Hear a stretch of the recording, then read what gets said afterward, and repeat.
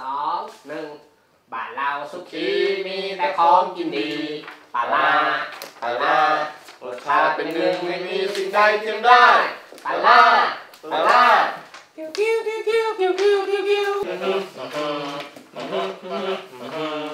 บ้านเราสุขีมีแต่ของกินดีปลาลาปลาลารสชาติเป็นหนึ่งไม่มีสิ่งใดเทียมได้ปลาลาปลาลา เสร็จแล้วมาล้อมวงกันบ้านเรา สุขีมีแต่ของกินดีปลาลาปลาลารสชาติเป็นหนึ่งไม่มีสิ่งใดเทียมได้ปลาลาปลาลาทุกคนหยุดหยุดทำไม งานกำลังเดินไปได้อย่างรวดเร็วแล้วก็เพลิดเพลินเลยทีเดียว นั่นสิ เป็นอะไรไปเหรอ หรือว่านายไม่ชอบเพลงที่เราร้องขณะทำงาน ไม่ใช่ เพลงนะมันก็เพลินดีนะ แต่ตอนเนี้ยกินหมึกจากปรินเตอร์เนี่ยฟุ้งเลยอะไม่รู้สึกกันเลยเหรออืมนายแน่ใจเหรอเซอร์ลอฟคือความเป็นไปได้เนี่ยมันก็มีอยู่นะ แต่ เราก็ไม่แน่ใจเหมือนกันว่ามันจะปลอดภัยหรือเปล่า มั่นใจสิกลินเนี่ยฟุ้งเชียวโทษทีโทษที ถ้ามั่นใจขนาดนั้นแล้วก็ เราไปสำรวจกันเลย ถึงประสิทธิภาพของพิเตอร์และยี่ห้อเนี่ยมันมีคุณภาพขนาดไหน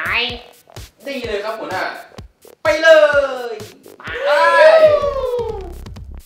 ทดสอบเครื่องพิมพ์แบบเลเซอร์ ว่าเป็นภัยแค่ไหน คงไม่ค่อยมีใครรู้กันว่า เครื่องพิมพ์แบบเลเซอร์ หรือเลเซอร์ปรินเตอร์นั้น จะมีอนุภาคที่ถูกปล่อยออกมาขณะพิมพ์งาน และฟุ้งกระจายอยู่ในสำนักงาน ซึ่งก็คืออนุภาคผงหมึก เป็นอนุภาคฝุ่นที่มีขนาดเล็กกว่า 2.5 ไมโครเมตร ที่มีผลการวิจัยออกมาว่า เป็นอนุภาคที่เป็นอันตรายต่อสุขภาพของมนุษย์ เนื่องจากมันสามารถแทรกซึมผ่านระบบหายใจ เข้าไปเกาะที่เซลล์ปอด ถ้าได้รับในปริมาณมาก จะสะสมพอกพูนจนเกิดเป็นพังผืดหรือแผลขึ้นนำไปสู่อาการหลอดลมอักเสบ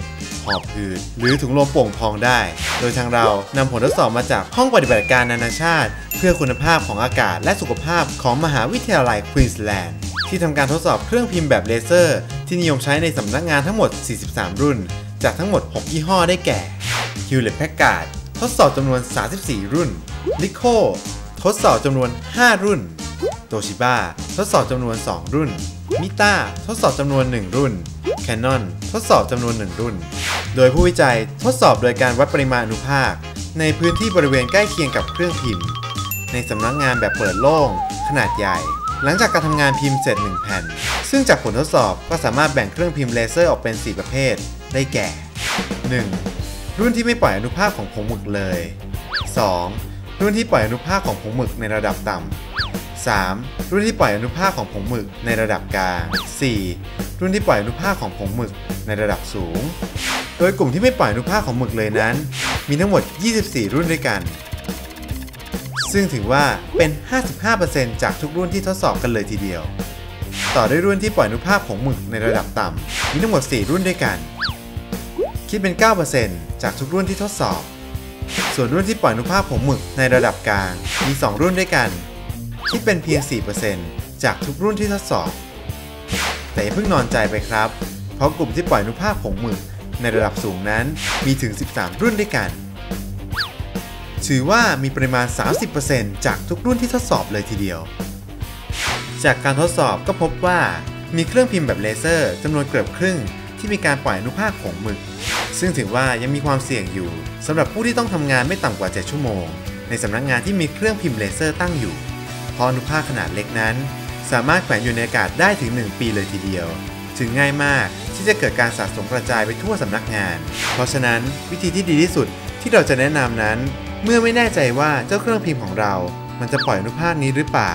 ก็คือให้ตั้งเจ้าเครื่องนี้ให้อยู่แยกกับบริเวณที่เป็นโต๊ะทำงาน และบริเวณนั้นต้องไม่อับ ไม่ทึบ มีหน้าต่าง ให้อากาศถ่ายเทออกไปนอกอาคารได้สะดวก ถึงเครื่องพิมพ์แบบเลเซอร์ จะทั้งสะดวก ทั้งประหยัด และคุณภาพดีกว่าแบบอิงเจ็ตแต่ก็มีจุดที่เสี่ยงต่อคุณภาพของอากาศภายในอาคาร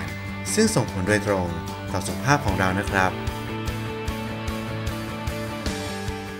ครับ มารับเอกสารได้เลยครับ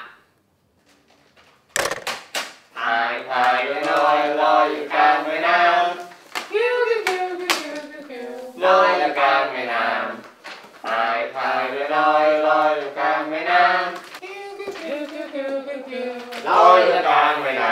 ำพายพายเรือลอยลอยอยู่กลางแม่น้ำลอยอยู่กลางแม่น้ำ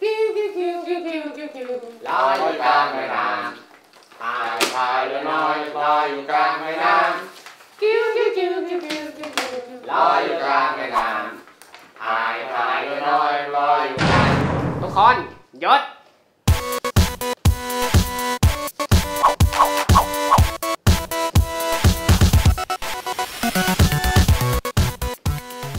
มีอะไรเหรอครับหัวหน้าดูหัวหน้าเบื่อเพลงที่เราร้องกัน ไม่ใช่ นายเนี่ยหมกมุ่นกับเพลงจังเลยนะ แหม ก็มันเป็นวิธีทางจิตวิทยาที่จะช่วยพอพอพอพอก่อนเป็นโนนี่พวกนายรู้ตัวกันไหมว่าเราทุกคนเนี่ยเคลื่อนไหวยังกับหุ่นยนต์ เสียงยังกับผีดิบก็คงงั้นกระมังครับ นี่ดูสิ แถมมือก็ล็อกแล้วเนี่ยฮะ หยุดไม่ได้เลย อาการแบบนี้นะครับ มันน่าจะเรียกว่าออฟฟิศซินโดรมนะครับ แต่ปกติแล้วเนี่ย มันไม่น่าจะเป็นหนักขนาดนี้นะครับ นั่นสิ พวกเราอะดูท่าจะเป็นหนักกว่าชาวบ้านเขางั้นเราจะทำยังไงกันล่ะ งั้นเราไปรู้จักโรคนี้ รวมทั้งวิธีแก้ไขและป้องกันกันเถอะครับ ตามนั้นเลย ทุกคน ไป ไป